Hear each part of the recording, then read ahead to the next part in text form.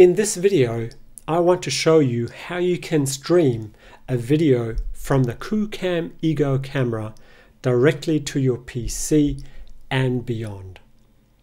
By beyond, I mean YouTube, because from there you can pretty much get into any device that supports side-by-side from YouTube, like a VR headset, the Lume Pad, the ProMa tablet, and others as well.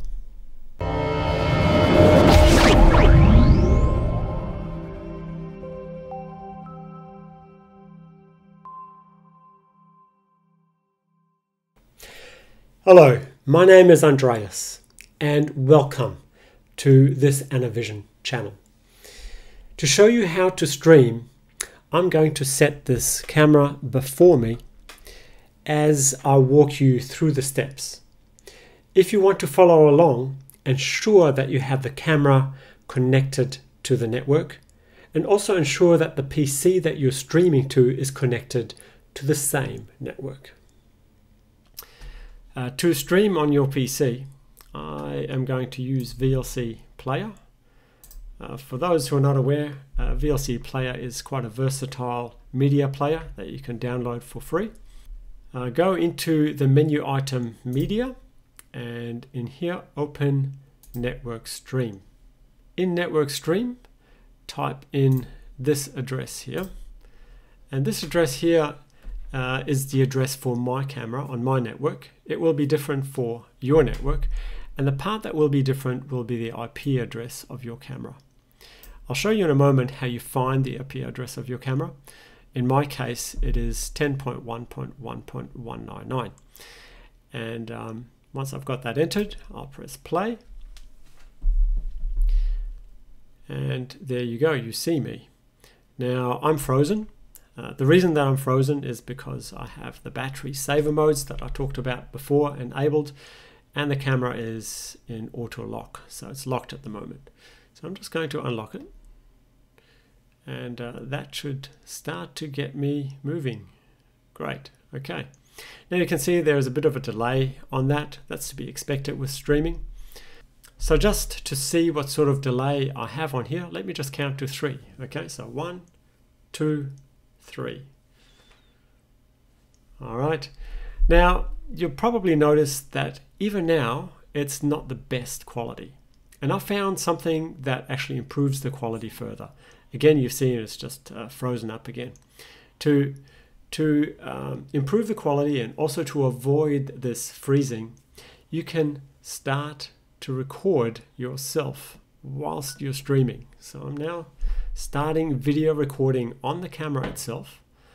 And uh, whilst it's recording, it will give you a much smoother experience um, as well. So it's kicked in now. You can see that it is streaming and it's much smoother. You can see that the frame rate seems to be higher. I don't know why that is. If you want to stream, I suggest that you record and stream at the same time in order to get this sort of a smoother experience. Okay, so let me show you how you find the IP address of your camera. Now, obviously your camera will need to be connected to the network for this. And um, when you've got it connected to the network, issue this command. Go ARP dash A pipe find string dynamic. And when you issue that command, it lists all of the dynamically assigned IP addresses on your network. Now, your camera won't be the only thing that's connected, of course. Um, so it will be one of those addresses, but you don't know which one. Now, the easiest way that I found to uh, find out what the address of your camera is, is simply to switch off your camera, wait a bit, and uh, then see which line is missing. So I'm going to do that. I'm going to switch off the camera.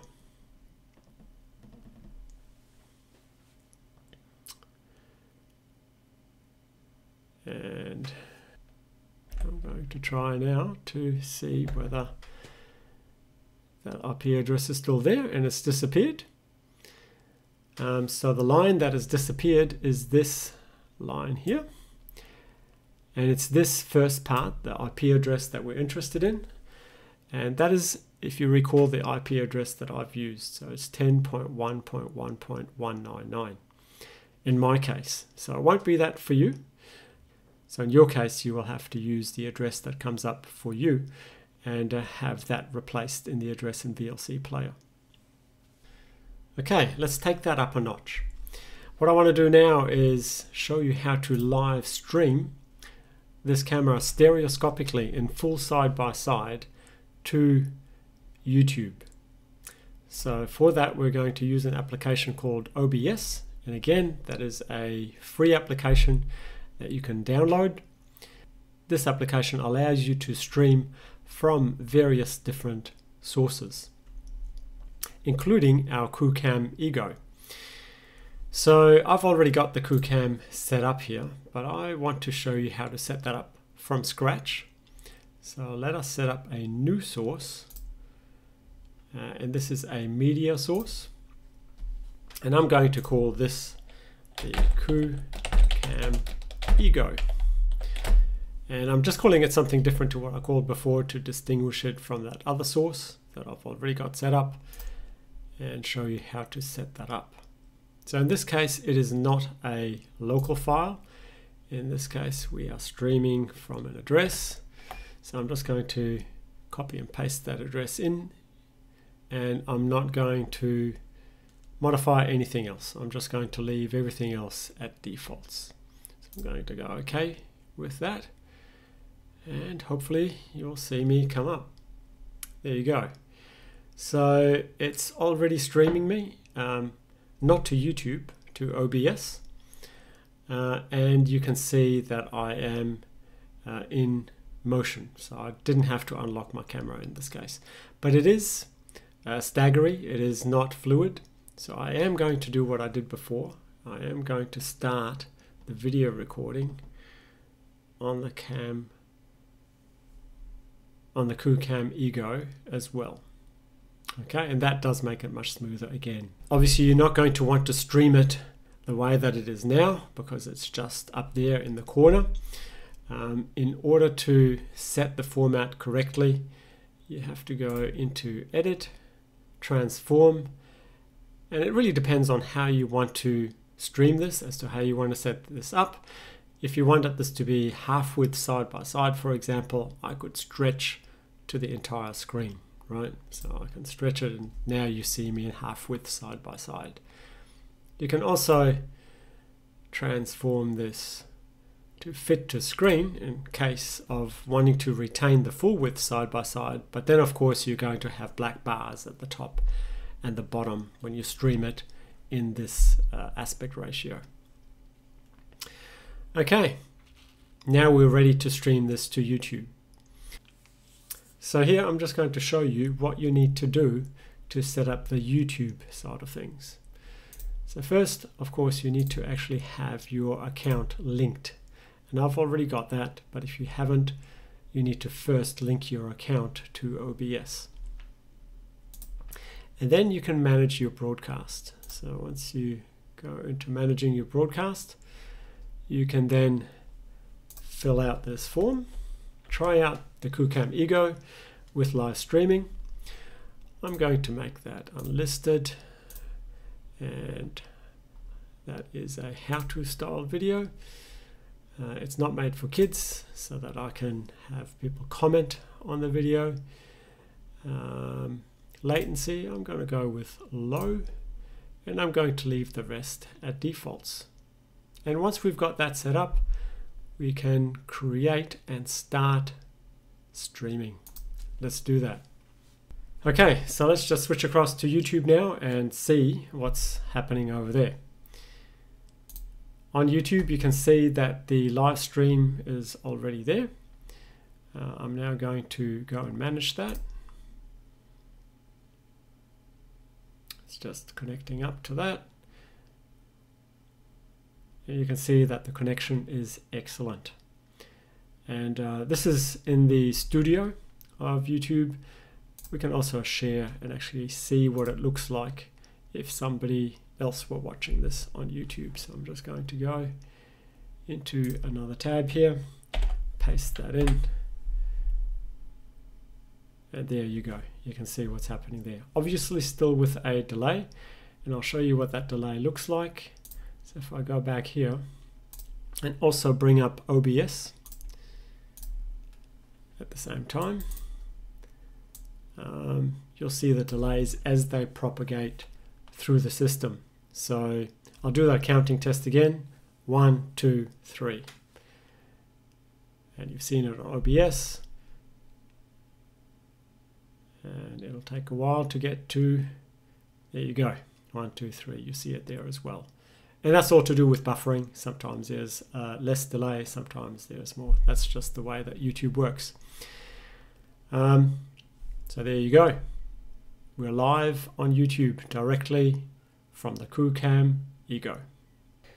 So once you are streaming with this camera, you can view that stereoscopically on the receiving end in a number of different ways. In fact, any method that supports side-by-side -side viewing of YouTube content will work. And I'll show you a few examples here. Using a VR headset, you can use applications like Wolvic to view the stream. Wolvic unfortunately assumes a half width side by side format, so your stream will be stretched once you go into full screen if using full width side by side.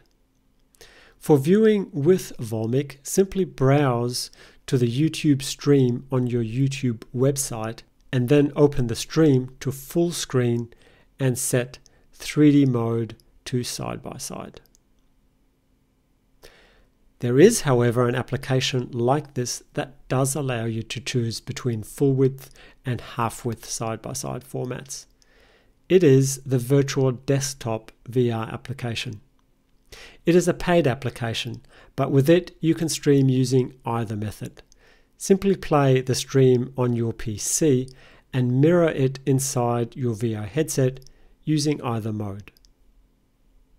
You can also watch this in full light field on the Lume Pad. For this, open up YouTube, navigate to the video stream and then share it with the LeiaTube application. Then you will be able to see the stream in full stereo view there. Ensure that you select the right side-by-side -side format if the application doesn't auto detect this. Another device on which you can see this stereoscopically is on the Proma King tablet. To do this, run the 3DFV application and set the 3D service setting to on. Then open up the YouTube app and then navigate to the stream as before and put it into full screen mode. Then swipe from the side to get the 3DFV app menu and select the format that you are watching. In this case, it is full width side by side, and then you see the stream in 3D. Well, I hope that you enjoyed this little tutorial video. If you want to know more about the 3D features of this camera, have a look at my other video, a review video that I made on this camera.